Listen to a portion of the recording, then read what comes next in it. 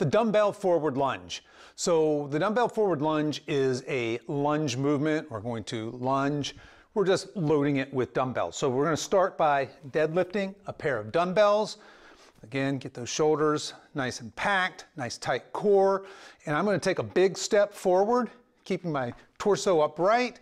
That back knee touches the ground and I explode back. Left leg, right leg. You can see that from the side, keeping that torso nice and tight, that nice neutral spine.